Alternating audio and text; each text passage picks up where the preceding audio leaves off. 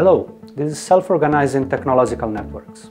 When many electronic devices come together and form a networking system, those networks start showing patterns and new interesting behavior emerges. In this module, we investigate what happens in such complex systems, with examples that range from wireless communications to drones and robots. We will open for you a toolbox to study such complex systems, including theories from complexity, game theory, and chaos.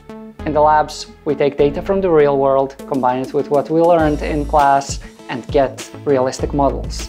Now, those models can be used to get these great new innovative strategies to control these massive networks.